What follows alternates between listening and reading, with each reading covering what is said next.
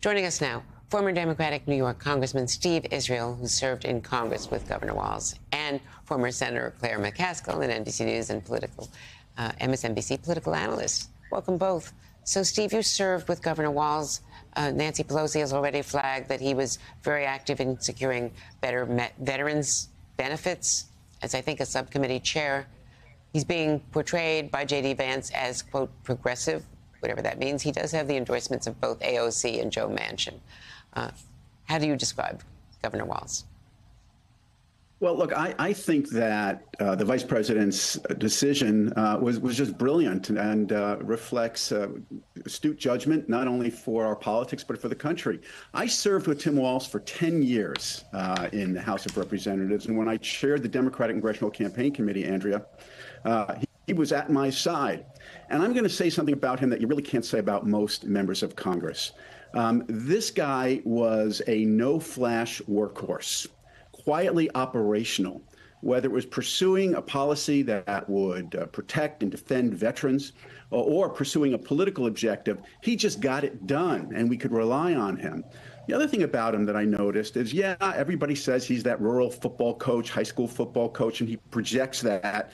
But this guy knows how to throw a punch. Uh, as you were just talking about uh, with my friend Mitch Landrieu, uh, it was Tim. Uh, it was Tim Walz who figured out how to define uh, the uh, the Trump candidacy. Uh, in one word rather than the usual 42 point uh, Democratic talking points.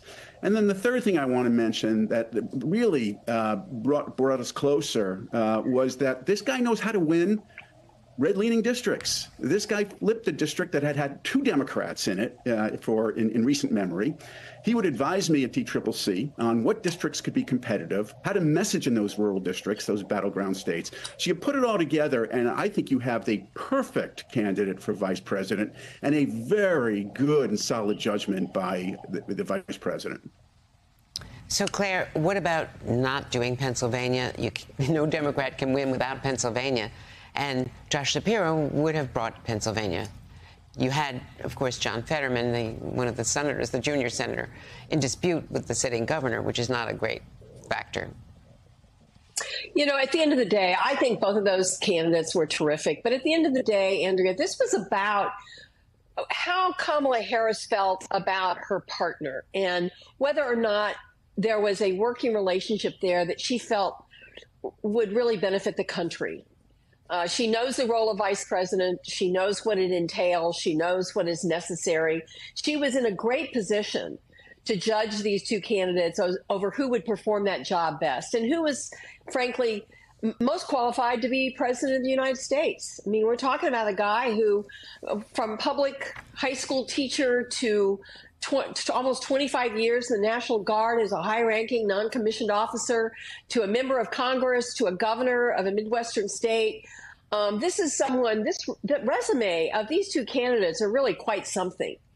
And I, I don't think this was about rejecting Josh Shapiro as much as bringing somebody to the ticket who can plainly and clearly speak to most of America. This is not an elite guy.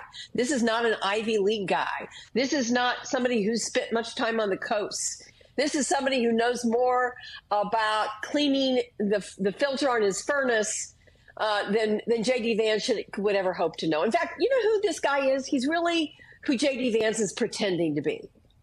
Uh, he is that salt of the earth um, normal Midwestern guy that is going to communicate. And, and I agree with my friend Steve Israel. This guy is going to slice and dice the Trump Vance ticket with a smile on his face and a twinkle in his eye. Yeah, and it's it's really striking, Steve Israel, that you know he can be an attack dog without appearing as an attack dog. He's been described by J.D. Vance already today, I think, as a you know left wing West Coast wannabe, whatever West Coast wannabe means, but it's sort of San Francisco liberal or some one of those pejorative terms that are attached to Californians. But there's about nothing about this guy that looks to me like California. Yeah. In terms of anything of you know, generically California. Yeah, of course, J.D. Vance is going to say that. I mean, Tim Walz's view of West Coast is the West Coast of a lake, one of the lakes uh, in Minnesota you know, to, to define him as a progressive, as if that's a bad word, as if fighting for uh, health care is a bad word, protecting the Affordable Care Act is a bad word, standing up for reproductive freedoms uh, and battling climate, you know, as if those are bad values.